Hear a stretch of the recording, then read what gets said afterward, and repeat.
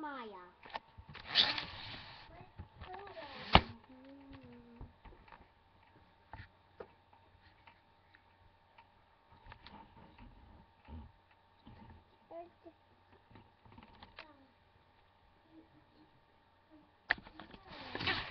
This is just a sneak peek of her. Enjoy.